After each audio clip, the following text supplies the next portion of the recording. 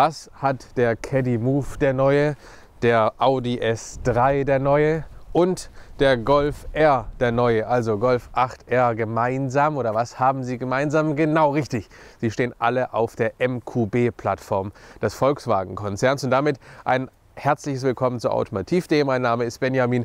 Das wie immer. Wir machen heute oder wir schauen uns heute ganz im Besonderen den Audi S3 an, hier in Python-Gelb, in einer richtig schönen Farbe und in der Edition One.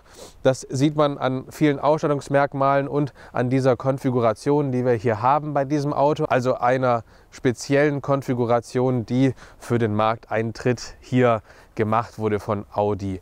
Genau, und das Auto stellen wir gegenüber, zumindest am Anfang, den Golf 8R. Den haben wir ja schon in ein paar Reviews gehabt, auch auf der Rennstrecke jetzt kürzlich in Oschersleben. Auch das ist nochmal unten verlinkt. Und den Caddy, den, den schieben wir jetzt mal zur Seite. Um den kümmern wir uns noch im Einzelnen. Auch das Video hier, was wir dann noch produzieren werden, das ist unten verlinkt. Ja, der Audi S3, er besteht seit ungefähr 20 Jahren. Da gibt es ihn. Ich kann mich noch an den ersten S3 erinnern. Habe ich ihn damals als Kind auch schon oft in Gelb gesehen und schon echt für cool befunden. Und er ist immer noch so cool wie damals. Er erinnert mich gerade in dieser Farbe an meine Kindheitserinnerungen. Wir haben hier eine schön offensive Front drin. Wir haben hier diese typische Audi Lichtsignatur. Hier auch die Scheinwerfer, diese typischen Scheinwerfer, die nach unten gezogen sind, richtig definiert, richtig kantig, richtig zackig. Da haben wir die LED Matrix Scheinwerfer hier drin, die sind optional gleich zu Anfang und dann hier viel Kontrastelemente und auch was Audi ja seit ein paar Jahren macht, dass die Audi Ringe hier in Kontrast schwarz, nicht mehr in Silber, sondern in Kontrast schwarz und dann haben wir unter diesem riesen Single Frame hier unten auch nochmal Kontrast-Schwarz-Elemente da unten. Das packt ihn richtig gut ein, das macht ihn stämmig und das sieht einfach gut aus. Wohingegen wir beim Golf 8R hier auch schwarze Kontrastelemente haben.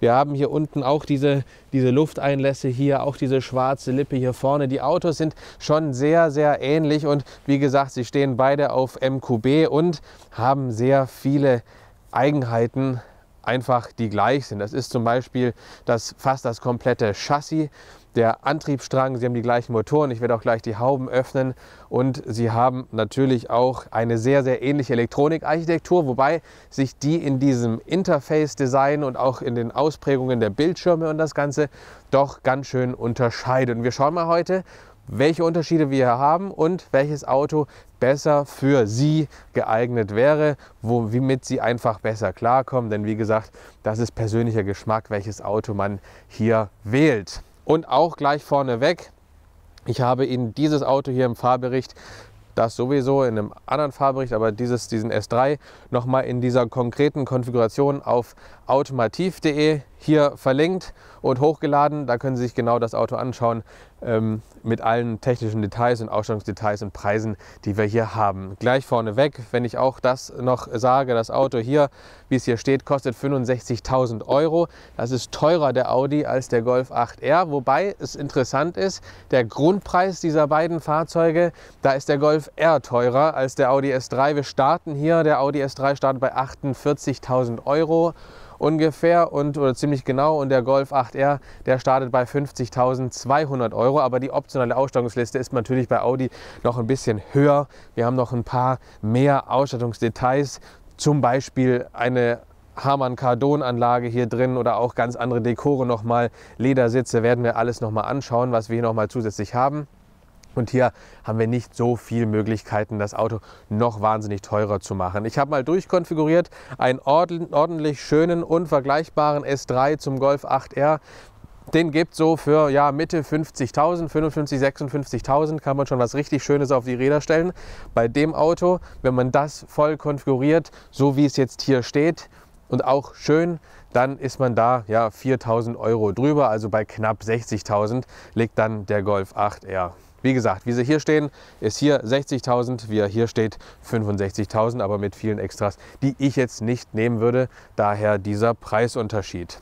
So, und was wir jetzt auch machen, bevor wir uns nur noch um dieses Auto kümmern, nur noch um den Audi S3, machen wir kurz einen Soundcheck, weil wir haben ja, wenn wir ganz kurz mal ans Heck kommen, haben wir eine ähnliche Abgasanlage hier hinten, beides doppelflutig, links und rechts, aber wir haben hier die Akrapovic-Anlage drin, drunter, die knallt richtig schön. Und wir haben hier die ganz normale Serienanlage drunter, die bollert richtig schön. Das ist der Unterschied eigentlich. Und jetzt gucken wir mal, wie diese beiden Autos gegeneinander klingen und was ihnen besser gefällt. Es kann ja sein, dass der hier ein bisschen zu aggressiv ist und der hier ganz schön und ganz passend ist. Das sehen Sie jetzt.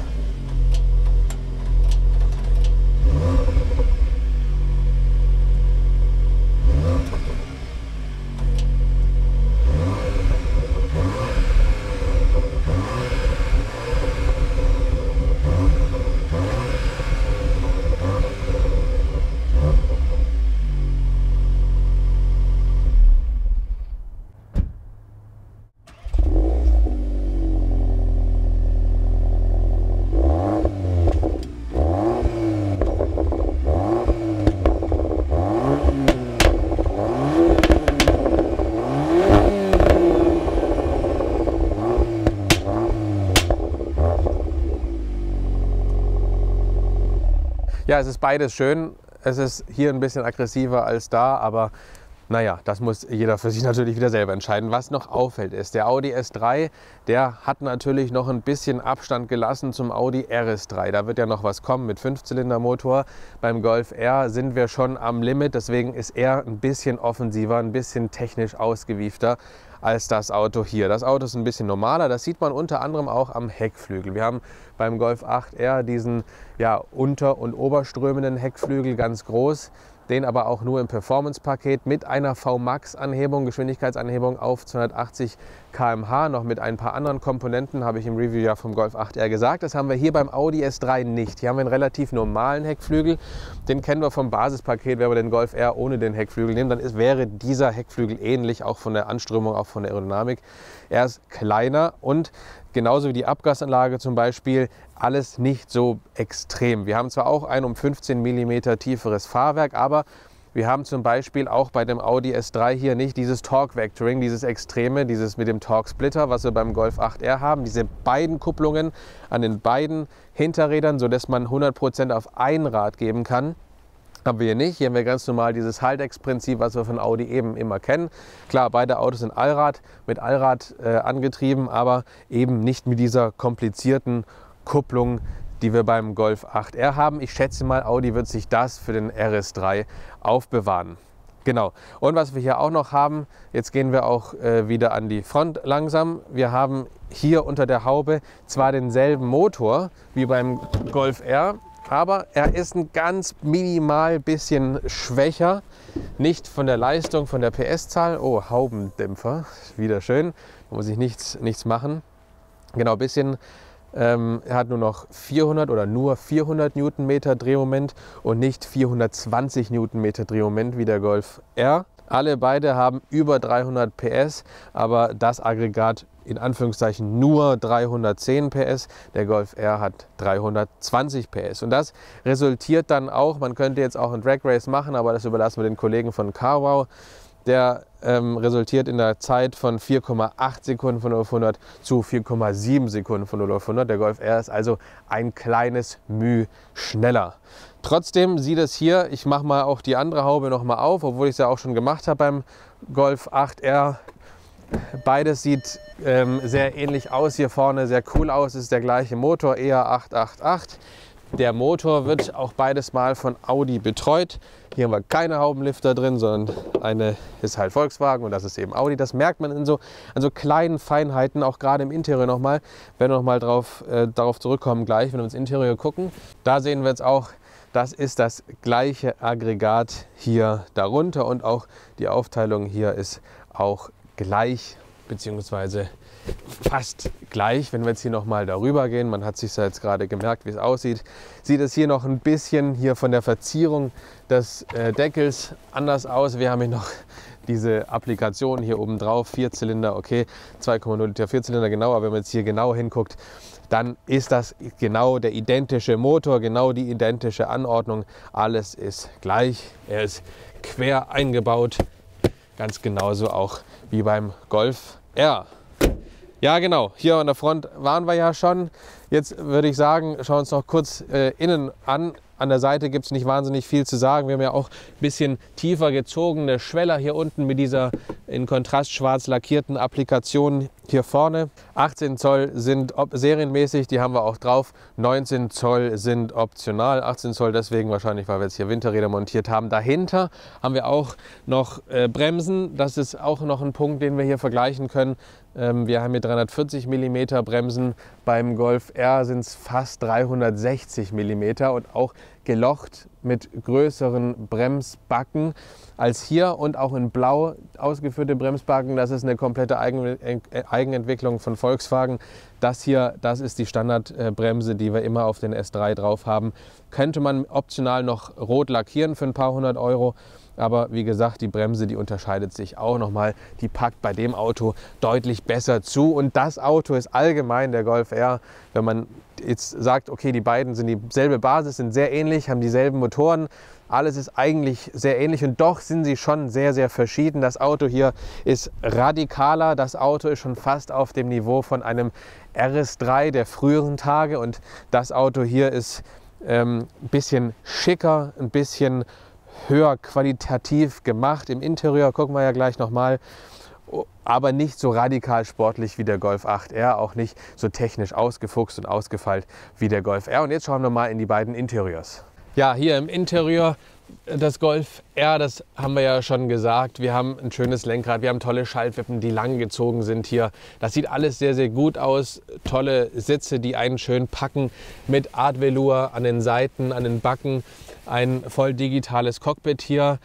Ähm, sehr, sehr schön gemacht. Auch die Mittelkonsole mit dem Shift-by-Wire-Wählhebel und diesem Start-Stopp-Knopf hier in der Mitte. Wir haben leider nicht so wahnsinnig viele wirkliche Tasten. Alles passiert über Touch. Ähm, also sehr, sehr digital und sehr, sehr Touch-basiert, sehr, sehr Display-basiert. Jetzt gucken wir mal rüber an den Audi S3.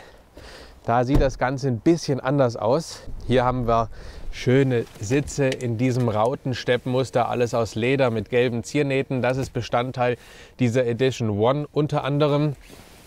Auch hier haben wir viel Digitalität hier in den Displays, ein größeres virtuelles Cockpit und auch ein tatsächlich eingebunden, schöner eingebundenes System hier in der Mitte. Das steht nicht so hoch, sondern ist schön integriert in diese gesamte Cockpit-Landschaft. Es wirkt alles ein bisschen leicht hochwertiger und strukturierter und integrierter vor allem. Das Einzige, was mir nicht gefällt, ist diese aufgesetzten Lüftungsdüsen hier für den Fahrer. Und dann haben wir hier schöne Dekore, die fühlen sich, ich wünschte, Sie könnten das jetzt fühlen, wie sich das hier anfühlt. Es fühlt sich richtig hochwertig an an diesem Quattro-Schriftzug. Es ist ein wirklich sehr schönes Dekor. Und wir haben hier, das habe ich ja schon gesagt, Knöpfe. Nicht nur für die Klimaeinheit, sondern auch für den Fahrmodusschalter. Wir haben zwar nicht wie beim R einen R-Taster oder einen S-Taster. Klar, gibt es ja nicht, weil es gibt, wenn dann nur RS-Taster. Das ist auch wieder aufgespart für den RS3 dann am Lenkrad.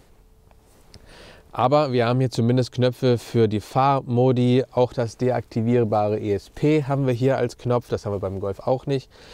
Und so ist es hier noch ein bisschen mehr knopflastiger, was mir wirklich besser gefällt weil man damit schneller agieren kann. Vor allem auch, wenn es um die Fahrdynamik und Regelsysteme geht, kann man hier noch ein bisschen alles schneller einstellen als beim Golf, wenn man dort erst alles übers Display machen muss, über das Multimedia-System. Ansonsten sitzt man hier, wenn ich mich mal richtig reinsetze, mit Bang Olufsen-System, äh, sitzt man hier echt gut. Auch das ist wieder, deswegen habe ich es gerade erwähnt, auch so ein, so ein kleines Detail, weswegen ich sage, das Auto ist einfach ein bisschen Gran Turismo-mäßiger abgestimmt, ein bisschen hochwertiger, ein bisschen mehr Ausstattung drin und trotzdem sitzt man sportlich, nicht ganz so krass sportlich, weil die Seitenwagen nicht so ausgeprägt sind wie beim Golf R, aber man sitzt sehr sportlich, man kann hier, man hat hier gut ähm, Freiheit trotzdem für den Arm und so und man sitzt hier ähnlich wie im Golf, aber ein bisschen noch eingepackter, finde ich. Noch ein bisschen mehr im Auto. Und wie das Auto jetzt fährt, das sehen wir jetzt und das probieren wir jetzt auch aus. So, die markantesten Unterschiede hier habe ich ja eigentlich gerade schon gesagt, sind das große digitale Display hier. Das kennen wir immer von Audi. Das auch hier noch verbaut und dann das integrierte Multimedia-System in der Mitte. Ich finde es immer so schön, wenn Navigationssysteme und Multimedia-Systeme nicht hier so oben drauf sitzen wie so Tablets. Ich weiß, es ist in und so und trotzdem machen es ganz viele, aber ich finde es so viel schöner, wenn sie so integriert sind wie hier, dann ist es alles aufgeräumt und dieses Cockpit hier, auch mit den zwei Luftdüsen, die ich zwar nicht mag, aber das Cockpit hier, das wirkt sehr fast wie in einem Space Fighter, sehr konzentriert und sehr auf den Fahrer fokussiert. Und hier kann der Fahrer nochmal sich hier, falls es zu heiß werden sollte, nochmal hier extrem abkühlen mit diesen Lüftungsdüsen. So, Start-Stopp-Knopf haben wir hier in der Mitte. Der Abgasstrang ist jetzt schon ein bisschen warm, das ist gut. Da fängt jetzt auch ein bisschen an zu bollern. Ich mache jetzt mal die Assistenzsysteme aus, die brauchen wir heute nicht. Wir machen jetzt nur noch ganz normal, also mit einem langen, Knopf, langen Druck hier an der linken Seite am Blinkerhebel. Wir machen jetzt nur Fahrdynamik auf der Landstraße und auf der Autobahn. So, dann bin ich mal gespannt. Ich bin hier im Dynamic-Modus. Ach ja, genau, im Individualmodus. Wir haben hier das Auto mit Adaptivdämpfern ebenso. Das heißt, ich kann auch das Fahrwerk komfortabel oder sportlich stellen und auch die Lenkung sportlich oder komfortabel und den Motorsound kann ich mit einer Klappe, das ist ja auch eine Klappenanlage hier, kann ich mittels einer Klappe auch steuern. Man sitzt auf jeden Fall sehr gut. Ich kann auch noch die Sitzauflagefläche nach vorne fahren. Dann ist es bequemer. Gerade für die Langstrecke ist das wichtig, dass man hier dann auch gut sitzt. Und man hat hier, ich finde diese Knöpfe hier zur Lichteinstellung, finde ich richtig gut. Ähm, da kann man auch drüber fahren. Dann sieht man hier, okay, Auto und dann kann man klicken Genau, das sind, das sind schöne Knöpfe, die trotzdem berührungsempfindlich sind, aber eben Knöpfe. Und Knöpfe sind so wichtig, gerade in einem performanceorientierten Auto, dass man klar einen Teil Touch macht, das ist ja hier auch so, aber dass man so diese wichtigen Fahrdynamik-Funktionen, so wie hier jetzt ESP aus, das mache ich jetzt auch mal aus, genau, dass man das eben findet und auch hier diese Start-Stopp-Aus-Taste und so finde ich wirklich gut, dass Audi das so analog, teils analog und teils digital, da wo es eben digital sein kann, da wo es ein Komfort-Feature ist, macht und die anderen Sachen alle analog lässt, damit man sie eben gut bedienen kann. Weil nichts ist schlimmer als ein Auto, was man mit Umständen hier nur bedienen kann. Auch hier könnte ich mal kurz ausprobieren zu beschleunigen. Dann haben wir die 4,8 Sekunden, die dieses Auto ja braucht.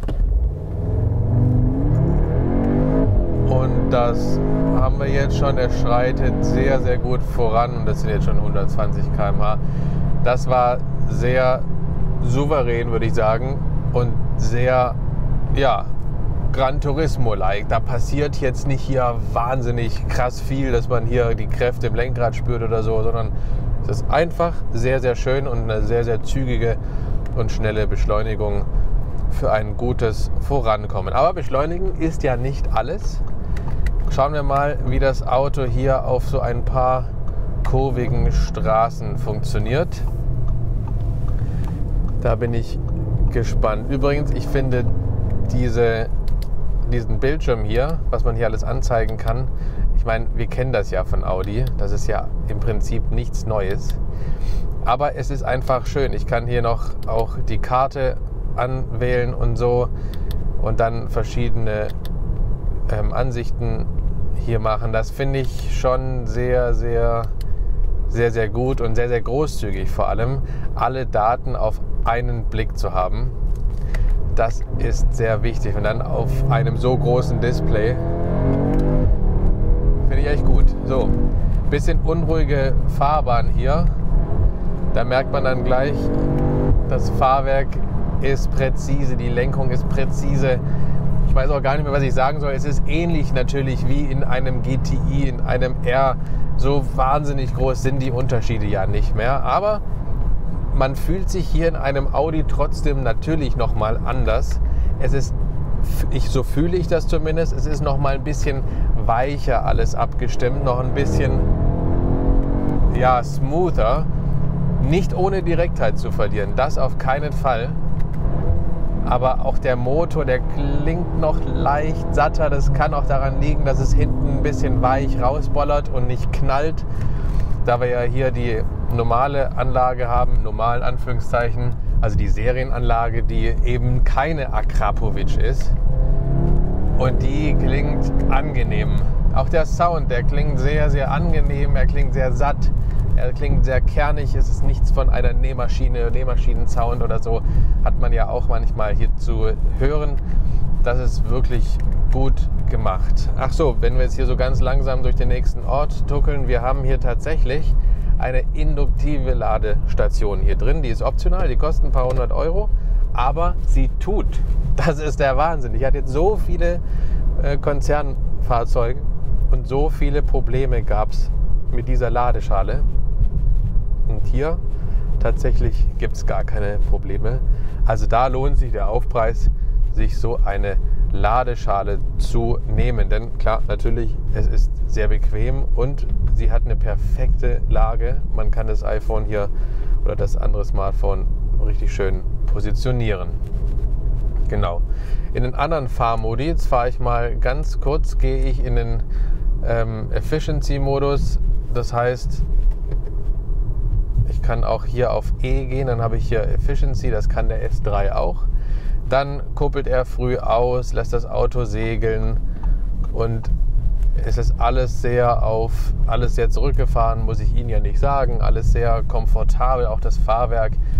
Diese Einstellungen, klar, Adaptivdämpfer sind immer schön zu haben, da kann man auch wirklich mal dahin gleiten. Und das Auto ist ja so wie auch ein Golf R, der sich auch total verwandeln kann, kann sich der S3 hier auch verwandeln und dann für die Langstrecke sehr, sehr schön dahin gleiten. Für mich ist es jetzt aber gerade langweilig und deswegen stelle ich wieder auf Dynamic, gehe in den Manuellmodus, indem ich hier das Schalten übernehme. Übrigens, das finde ich wieder Shift by Wire, klar, das ist ja wie im Golf auch, aber das finde ich tatsächlich nicht so cool, dass ich hier keine Möglichkeit habe, nicht mal durch einen Knopf oder so, hat man beim Golf R auch nicht, aber hier auch nicht, dass ich sagen kann, okay, ich will jetzt hier nur manuell schalten und dann bitte kein Automatikmodus mehr. Wobei man auch wieder sagen muss, er hält den manuellen Modus sehr, sehr lang. Also wenn ich jetzt hier so bleibe, er schaltet nicht und so, ohne dass ich die Pedals berühre, finde ich sehr, sehr gut. Ja, und Pedals, jetzt fahren wir erstmal.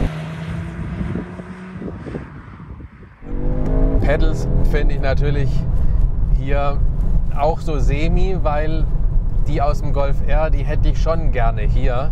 Auch ein abgeflachtes Lenkrad hätte ich hier gerne drin. Klar kann man noch als Option dazu buchen, aber jetzt hier finde ich das schon recht groß. Und ein abgeflachtes Lenkrad, klar, steht in RS-Modellen zur Verfügung. Nicht in S-Modellen, serienmäßig zumindest. Aber es würde noch mal mehr zur Sportlichkeit beitragen. Da meine ich eben, der Golf R, der ist deutlich aggressiver, deutlich motorsportmäßiger unterwegs als der S3 hier. Jetzt fahren wir hier mal, das ist ja unsere bekannte Strecke, die ich schon mit allen möglichen Fahrzeugen, auch Performance MQB Fahrzeugen gefahren bin.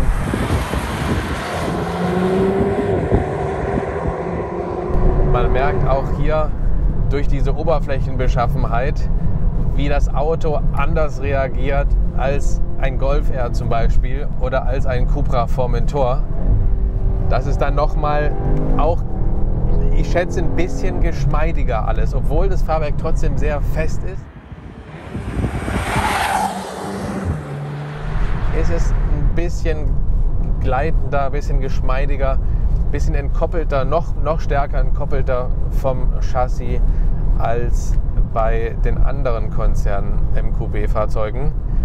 Und das macht den Audi, finde ich, auch immer aus. Der ist klar für das aggressive, krasse Rennsport ist ein RS3 und das Auto ist perfekt austariert und perfekt in der Mitte positioniert, leicht unterhalb des Golf R, wenn man jetzt mal die Sportlichkeit nimmt. Und das passt eigentlich auch so.